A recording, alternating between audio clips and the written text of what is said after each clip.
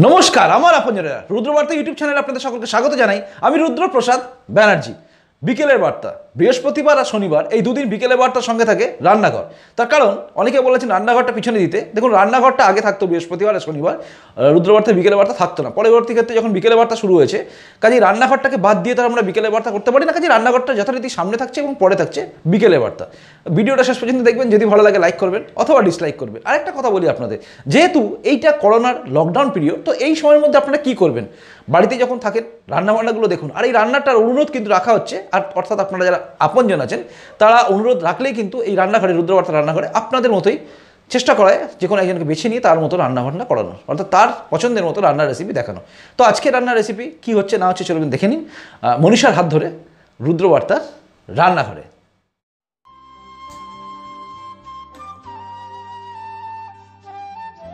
রুদ্রবার্তা রান্নাঘরে আপনাদের স্বাগত জানাই। আসুন, আমার সাথে রান্না শিখুন সহজভাবে। চলুন, দেখুন আজকের রান্না।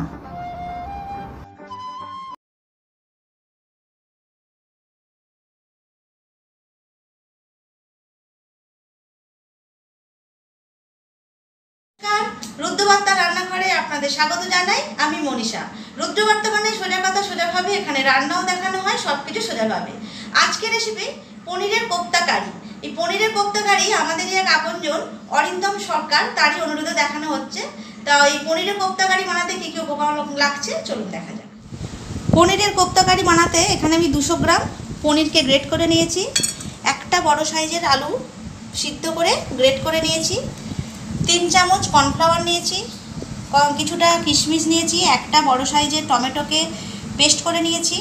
এক ইঞ্চি আদা, পাঁচটা কাঁচা লঙ্কা একসঙ্গে পেস্ট করে নিয়েছি। এখানে দু চামচের মতো কাজু বাদাম বাটা আছে, স্বাদ মতো চিনি আছে, স্বাদ মতো নুন আছে।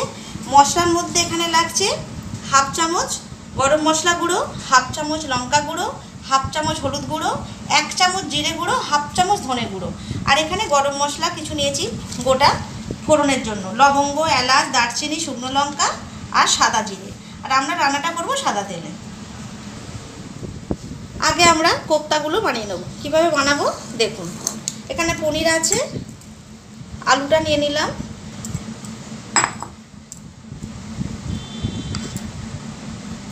কর্নফ্লাওয়ার দিয়ে দিলাম তিন চামচের মতো।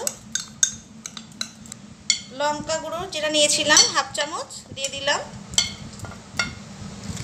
অল্প একটু হলুদ গুঁড়ো দিয়ে দিলাম। পরিমাণ মতো নুন দিয়ে দিলাম। আপনাদের কাছে যদি কর্নফ্লাওয়ার না থাকে, কর্নফ্লাওয়ারের জায়গায় বেসনও ব্যবহার করতে পারেন। পনিরের সঙ্গে আলু, কর্নফ্লাওয়ার, লঙ্কা, নুন, হলুদ সব একসঙ্গে ভালো করে মেখে নেব কোপ্তা বানানোর জন্য আমাদের পনির, আলু সব একসঙ্গে ভালোভাবে এভাবে মাখা হয়ে গেছে। কোপ্তাগুলো আমরা এক এক করে বানিয়ে নেব। আপনারা আপনাদের মতো সাইজ করবেন।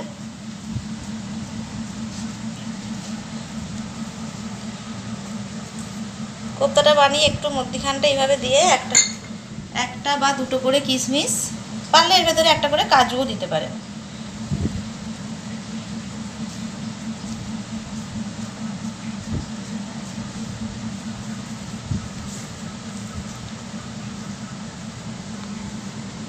এইভাবে বলের আকার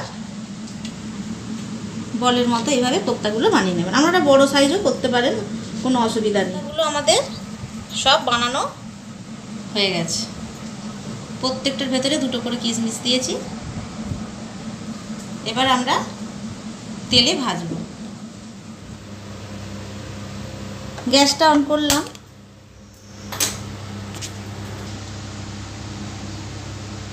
ভাজবার জন্য পর্যাপ্ত তেল দিয়ে দেবো। তেল আমাদের গরম হয়ে গেছে, কোপ্তাগুলো আমরা ভেজে নেব।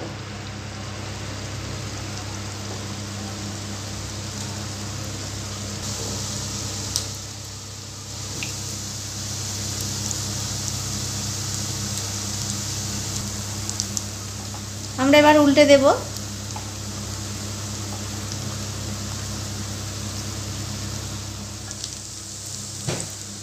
কোপ্তাগুলো ভাজা হয়ে গেছে, আমরা এবার নামিয়ে নেব।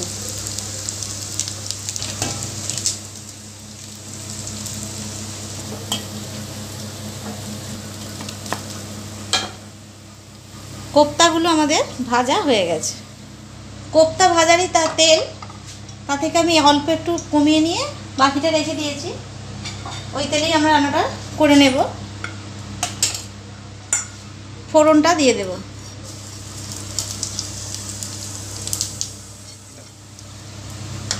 এলাচগুলো ফাটিয়ে দিলাম। ফোড়নটা লাল লাল হয়ে এসছে। আমরা আদা আর যে কাঁচা লঙ্কাটা বেটে রেখেছিলাম, সেটা দিয়ে দিলাম।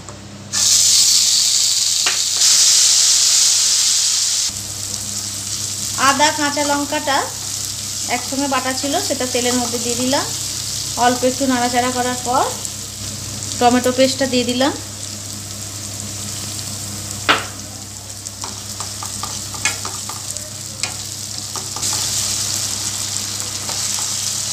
হালকা নাড়াচাড়া করার পর এক এক করে মশলাগুলো আমরা দিয়ে দেবো।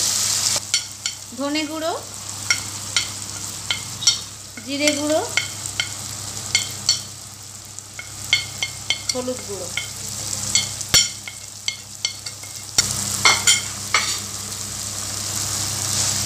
এর মধ্যে কোনো গুঁড়ো লঙ্কা অ্যাড করব না, যেহেতু কাঁচা লঙ্কা বাটা দিয়েছি।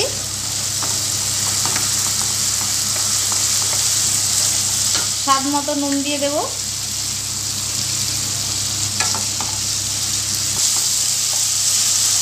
হালকা নাড়াচাড়া করার পর কাজু বাদাম বাটাটাও দিয়ে দিলাম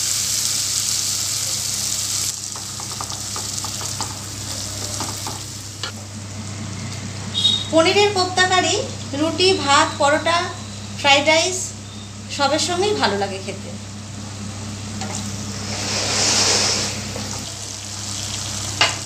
এবারে আমরা এর মধ্যে স্বাদ মতো চিনি দিয়ে দেবো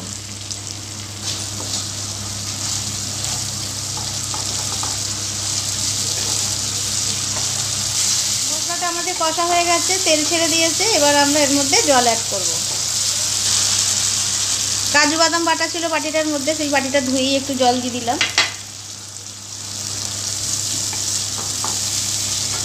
পরিমাণ মতো জল দিলাম, যে যেরকম গ্রেভি খাবেন, সেইভাবেই জলটা দেবেন।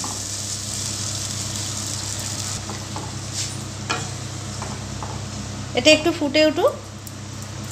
তারপর আমরা কোপ্তাগুলো এর মধ্যে দেবো। প্রায় তিন থেকে চার মিনিট ফুটেছে। আমরা এবার কোপ্তাগুলো এর মধ্যে দিয়ে দেবো।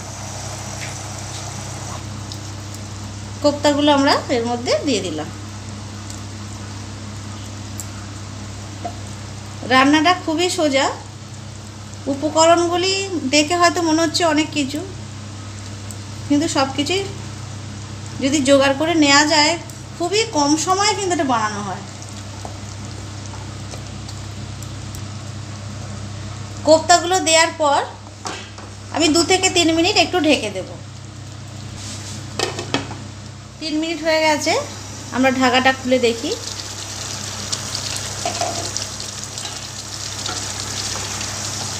বেশ ঘন ঘন হয়ে এসেছে গ্রেভিটা, এবার আমরা গরম মশলাটা দিয়ে দেবো।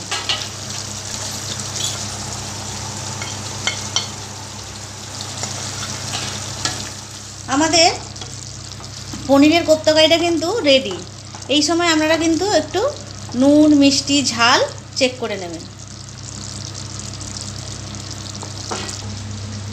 সুইটি গরম গরম লেগে যাবে। কোপ্তাটা রেডি আমি কিছুক্ষণের জন্য এটা চাপা দিচ্ছি। চাপা দেওয়ার পর আমি সার্ভ করব। গ্যাস অফ করে পাঁচ মিনিটের জন্য আমি ঢাকা দিয়ে রেখেছিলাম। এবার আমি এটা নামিয়ে নেব। কোপ্তাটা আমরা নামিয়ে নিলাম। অবশেষে তৈরি হয়ে গেল পনিরের কোপ্তা কারি। রেসিপিটি ভালো লাগলে অবশ্যই বানিয়ে খাবেন। কেমন হয়েছে কমেন্টস করে জানাবেন। লাইক করবেন। অবশেষে বলি রুদ্রবার্তা চ্যানেলটা সাবস্ক্রাইব করতে ভুলবেন না।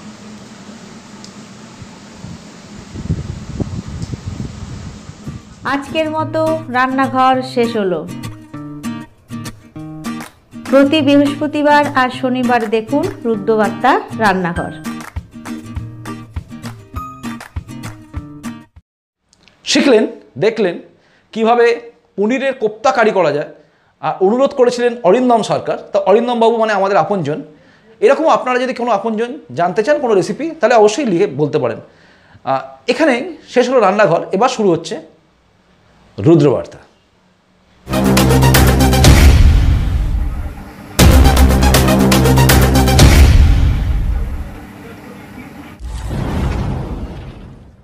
অবশেষে প্রধানমন্ত্রীর বিভিন্ন রাজ্যের মুখ্যমন্ত্রীর সঙ্গে নেওয়া বৈঠক শেষ হলো এবং তারপরে আমাদের রাজ্যের মাননীয় মুখ্যমন্ত্রী মমতা বন্দ্যোপাধ্যায় জানালেন যে প্রধানমন্ত্রী চাইছেন তিরিশে এপ্রিল পর্যন্ত লকডাউনটাকে বাড়াতে। অর্থাৎ আমাদের আজকে দশ তারিখ ধরলে আরও কুড়ি দিন লকডাউন পিরিয়ডের মধ্যে থাকতে হবে।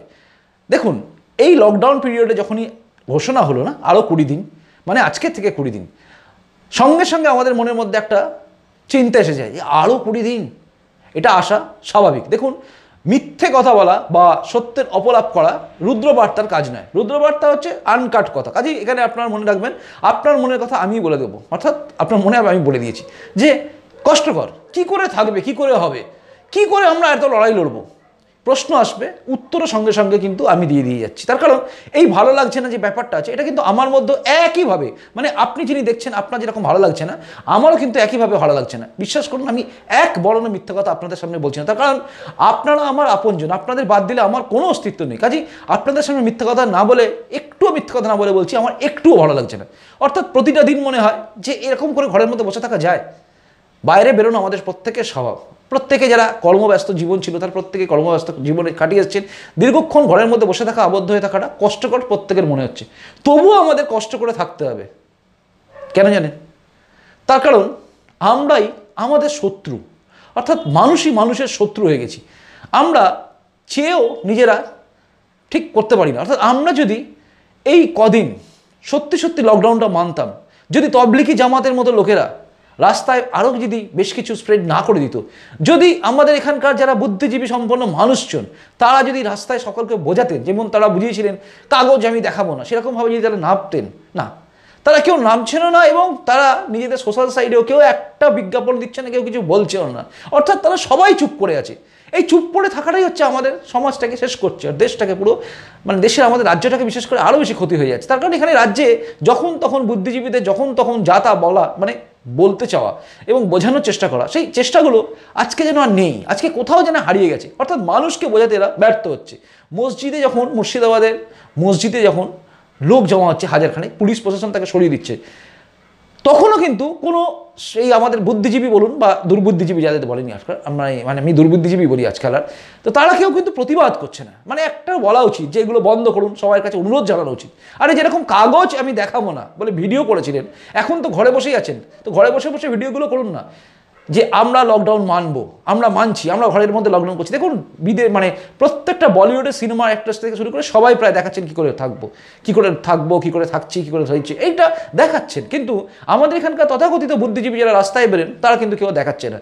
কাজে আমরা, আমাদের নিজেদের জায়গাটা নিজেরা ক্ষতি করে ফেলছি। আমরা কী করছি বলুন তো? আমরা লকডাউন পিরিয়ডের মধ্যে রাস্তায় বেরিয়ে পড়ছি। আমরা আড্ডা মারছি, গল্প করছি। পুলিশ যদি তাড়া না করছে, আমরা বসে থাকছি। দীর্ঘক্ষণ বসে গল্প করছি। এইগুলো আমাদের পক্ষে হয়ে গেছে ক্ষতিকারক। তার জন্যই কিন্তু আমাদের এই লকডাউন পিরিয়ডটা বাড়ছে এবং লকডাউন পিরিয়ডটা বাড়ার কারণই হচ্ছে যে হারে হঠাৎ করে বেড়ে গেল রোগীর সংখ্যা, যেটা কন্ট্রোল হয়ে এসেছিল, সেটা বেড়ে গেল হঠাৎ করে। তবুও ভারতবর্ষ কন্ট্রোল নিয়ে নিয়েছে। মনে রাখবেন সেরকম জায়গায় নেই। পশ্চিমবঙ্গ পাঁচটা হয়তো আজকে বেড়েছে, এরকম করে দশ পনেরো করে বাড়তে বাড়তে যাচ্ছে আর কি। তো তিরিশে এপ্রিল পর্যন্ত যদি চলে, খুব বেশি বাড়বে বলে আমার মনে হয় না। যদি না আবার এরকম কোনো জায়গায় কমিউনিটি এরকম তৈরি করবে না যারা যদি তবলিকি জামাত ফামাত টাইপের কিছু যদি হয় বা কিছু যদি এরকম হঠাৎ করে ভুলভাল কাজ করে কিছু করে ফেলে না। নয়তো কিন্তু বাড়বে বলে আমার মনে হচ্ছে না। অর্থাৎ আলটিমেটলি যদি দেখতে পান, তাহলে দেখতে পাবেন যে আমরা কিন্তু কন্ট্রোল নিয়ে নেওয়ার জায়গায় ছিলাম, আছি এবং থাকব। যদি না আমরা আমাদের ক্ষতিটা করে ফেলি। অর্থাৎ বারবার বলছি, লাগাতার বলছি, ভালো কারুর লাগছে না। আমারও ভালো লাগছে না, আপনার ভালো লাগার কোনো প্রশ্ন নেই। আমি একা মানুষ ঘরে থাকি, তাতেই আমার ভালো লাগছে না। আপনারা তো সকলকে নিয়ে থাকেন, একলা ঘরের মধ্যে এতক্ষণ বদ্ধ হয়ে থাকা আপনাদের ভালো লাগছে না। আমি বুঝতে পারছি, আমি হাঁপিয়ে গেছি, আপনারাও হাঁপিয়ে যাচ্ছেন। কিন্তু এই হাঁপানোটাকে আমাদের কন্ট্রোল করতে হবে আর মাত্র কুড়ি দিন। মাত্র কুড়ি দিন। রুদ্রবার্তায় আগামীকাল থেকে থাকবে প্রত্যেক দিনের কাউন্টডাউনের মজার মজার গল্প। থাকবে, চেষ্টা করব বিকেলবেলা দিকে নিয়ে আসার মজার মজার কিছু, যাতে এক এক দিনটা এক একভাবে কাটে আপনার। তো চেষ্টা করে যাচ্ছি, যে কেউ হোক আপনাদের সকলের মাঝে আমরা যাতে থাকি মানে আমরা সবাই একত্রিত হয়ে থাকি, ঘরে থাকি এবং সুখে শান্তিতে থাকি। করোনা ভাইরাস অ্যাটাক করে আর একটা কথা আমি আপনাদের বলি, সেটা হচ্ছে মাননীয় মুখ্যমন্ত্রী মমতা বন্দ্যোপাধ্যায়ের সরকার যদি আমার এই বক্তব্য শুনে, তাহলে সঠিক তথ্যটা জানান। যেরকম আপনি বলছেন, গুজব ছড়াবেন না, গুজবে কান দেবেন না, কেউ গুজব ছড়ালে কঠোর হাতে দমন করা হবে, তাহলে আপনিও কিন্তু সঠিক তথ্য দিন যে এত এত জায়গায় এত এত লোক মানে করোনা এফেক্টেড হচ্ছে। মানে অনেকেই জানাচ্ছেন না যে আপনারা ভুল তথ্য দিচ্ছেন। এখন বিজেপি থেকে বারবার অভিযোগ আসছে যে আপনারা ভুল তথ্য দিচ্ছেন। তো এই সত্যের তথ্য যদি আসে, তাহলে আমরা মোটামুটি সব জনগণই আর কি আশ্বস্ত হই যে না, আমাদের কোনো ভয় নেই। কিন্তু আমি যদি চেপে গিয়ে বলি, ভয় নেই ভয় নেই তাহলে আমাদের আবার ভয় লাগবে। তার কারণ হচ্ছে আজকের দিনে মিডিয়ার যুগে সোশ্যাল মিডিয়া কিন্তু মানে একদমই অ্যাক্টিভ তো সোশ্যাল মিডিয়া থেকে সবাই জানতে পারছেন এখানে ওই হয়েছে, ওখানে ওই হয়েছে। তো এরকম যদি হয়, তাহলে কিন্তু লোকে একটু ঘাবড়ে যাবে। আর একটা কথা বলছি, বারবার বলছি, করোনা নিয়ে আতঙ্কিত হওয়ার কোনো কারণ নেই। করোনা কিন্তু একটা ওই যেরকম সর্দি কাশি যেরকম জ্বর হয়, ওই জ্বর টাইপের কিন্তু এই ভাইরাস ফিভারটা ভয়ঙ্করভাবে সংক্রামিত হয় মানে সংক্রামক ব্যাধি। এর জন্য এটা ভয়। আর এটা মানে একবারে হলে পরে কমিউনিটির পুরো ধরে নেয়, তার জন্য এটা ভয়। বাদ বাকি এর মারণ ক্ষমতা কিন্তু খুব বেশি নয়। দেখুন, এর চেয়ে অনেক বেশি লোক মারা যায় হার্ট অ্যাটাকে কিডনি ফেলিওরে অনেক বেশি লোক মারা যায় ক্যান্সারে অনেক অনেক লোক। রোড অ্যাক্সিডেন্টে যত লোক মারা যায় পার ডে তার হিসাব করলে এই কদিনে অনেক বেশি ছাড়িয়ে যেত। কাজে এটা নিয়ে কোনো ভাবার কোনো ব্যাপার নেই। মৃত্যুর হার খুব একটা নয়, কিন্তু আমাদের নজরে রাখতে হবে এবং নিজেদেরকে বদ্ধ রেখে এটাকে, একটা ভয় সেটা হচ্ছে, সেটা বারবার বলছি, যেটা হচ্ছে রোগটা যদি ব্যাপকভাবে ছড়িয়ে যায় না, তাহলে আমার আপনার চিকিৎসা করার জায়গাটা কম হয়ে যাবে। তার কারণ কোথায় পাবো এত, এতগুলো মানে কি বলব আপনাদের কোয়ারেন্টাইন সেন্টার কোথায় আছে? কোথায় হবে এত? এগুলো সবই চিন্তার ব্যাপার আছে। এত ডাক্তার পাওয়া যাবে কোথায়? এগুলো ভাববেন আপনারা। আমেরিকা হিমশিম খেয়ে যায়, ইটালি হিমশিম খেয়ে যাচ্ছে। সেখানে দাঁড়িয়ে আমাদের ভারতবর্ষের অপ্রতুল সমস্যা মানে সমস্ত কিছু। সেখানে দাঁড়িয়ে তারা পারবে কী করে? কাজে আমাদের আপনাদের দুজনকেই মানে সবাইকেই চেষ্টা করতে হবে কষ্ট সহ্য করে হলেও ঘরে থাকতে।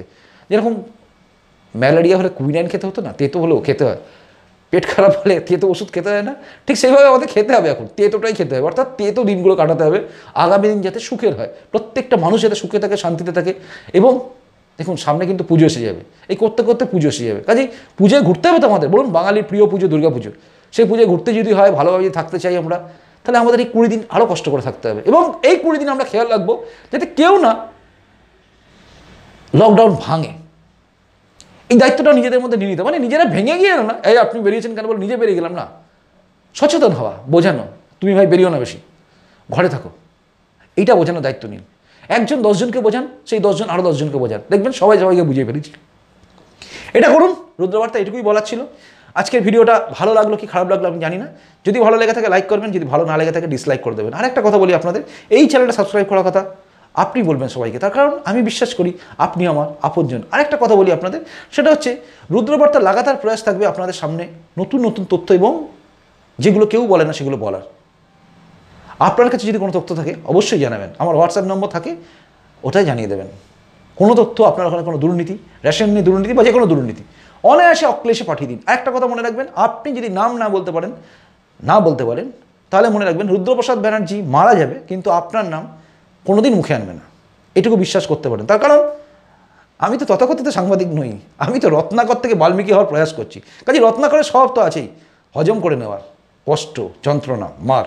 কাজেই চিন্তা করবেন না, আপনার নাম কেউ জানতে পারবে না। নিশ্চিন্তে নির্ভাবনায় বলে দেবেন। আর অভিযোগ যা থাকবে, সে যেই হোক যত বড়ই হোক এভিডেন্স যদি সঠিক থাকে, দিয়ে দেবেন, বলার ক্ষমতা আমি রাখি। আসি আজকের মতো, ভালো থাকুন সবাই, সুস্থ থাকুন, ঘরে থাকুন, আর মাত্র কুড়ি দিন কাউন্টডাউন শুরু করুন। আসি। ভালো থাকুন সবাই, ঘর থেকে বেরোবেন না প্লিজ ভালো থাকুন সবাই, নমস্কার, বন্দে মাতরম, ভারত মাতা, জয় হোক। জয় হিন্দ, আর শুভরাত্রি।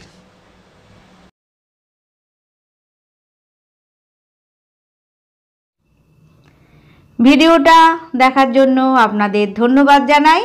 ভালো থাকুন সুস্থ থাকুন।